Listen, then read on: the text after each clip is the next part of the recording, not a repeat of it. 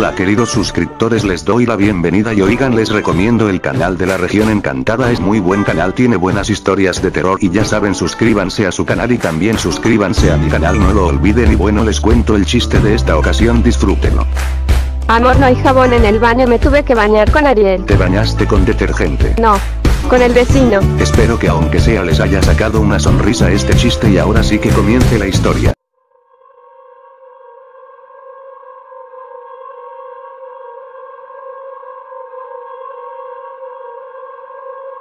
Bueno esta historia comienza con nuestro protagonista llamado José. Un día José estaba pasando por problemas de dinero porque era un joven de 22 años acababa de independizarse y mientras caminaba por la calle vio una casa antigua en venta. Y como José necesitaba una casa pues compró la casa con sus ahorros. A la casa le faltaba todo tipo de arreglos como pintar o comprar nuevos muebles. Y dos días después José se mudó a su nueva casa y cuando entró a revisar la casa a detalle, Vio que tenía un aspecto sombrío y algo lujoso y el primer cuarto que revisó fue el dormitorio principal y vio una cama grande y una ventana y un ropero y lo más inquietante un enorme espejo enfrente de la cama además era un espejo bastante antiguo con letras en un idioma que él nunca antes había visto. Y pues José se dispuso a dormir y cuando eran las 3 de la madrugada José vio su reflejo por unos momentos y vio como su reflejo empezó a cambiar sus ojos cambiaron de su verde normal a un negro intenso y su reflejo empezó a moverse y esto asustó mucho a José, y de repente el reflejo desapareció y José se tranquilizó y pensó va de seguro estoy muy cansado y vi esa alucinación además es comprensible no he dormido nada bien en varios días. Como estoy preocupado por encontrar trabajo y los días pasaron y José seguía viendo cosas raras en ese espejo y... Una semana después José encontró trabajo. Y un día compró pintura y unos muebles nuevos con su primer sueldo y mientras José pintaba vio que algo blanco se movió hacia el sótano y fue a investigar y de repente vio una chica fantasma que le dijo No tengas miedo no voy a hacerte daño. Bien ahora escucha muy atentamente primero hola. Me llamo Mariana y yo fallecí aquí hace 10 años te contaré la historia de esta casa. Yo viví aquí hace 10 años y todo bien. Hasta que un día una secta irrumpió en esta casa. Hicieron un sacrificio para un demonio que ellos llamaban el demonio de las imitaciones. Y pues el sacrificio fui yo. Y consiguieron sacar al demonio del infierno, pero se quedó atrapado en el espejo del dormitorio. Lo único que falta para liberar al demonio es romper el espejo. Pero no pudieron porque llegó la policía y los arrestaron y desde ese día no ha vuelto nadie a esta casa, solo el dueño y ahora tú. Y pues te pido que por favor mandes exorcizar ese demonio para que mi alma sea liberada. Y eso es todo, por favor cumple esto. Te lo encargo. Y...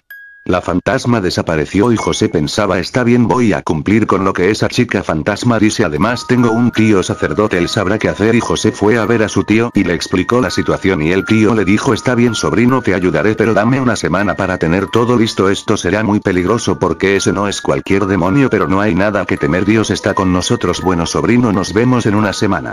Mientras tanto José habló una última vez con Mariana la chica fantasma y le dijo gracias por advertirme de todo y te prometo que ese demonio volverá al infierno de donde salió y por fin descansarás en paz mientras tanto José durmió en otro cuarto lejos del espejo. Pero esa noche tuvo un sueño donde vio al demonio y el demonio le dijo José rompe el espejo y te daré lo que quieras dinero fama poder mujeres. Lo que quieras solo rompe el espejo y todo eso será tuyo y José dijo jamás ustedes sucios demonios solo engañan y además yo soy fiel a Dios ahora lárgate de mi sueño maldito demonio y el demonio dijo haz lo que quieras pero te advierto cuando mueras y si vas al infierno te estaré esperando y te haré sufrir más que a todos y si no logras hacer tu exorcismo te perseguiré en tus sueños por el resto de tu miserable vida y José despertó y le llamó por teléfono a su tío y le dijo lo del sueño y el tío le dijo hiciste bien sobrino llamero tengo todo listo en fin nos vemos en cinco días. Y una vez pasados los cinco días llegó el tío sacerdote y le dijo ¿estás listo sobrino? Y el tío trajo cuatro ayudantes y un maletín con cosas antidemonios. Y le dijo el plan a José bien.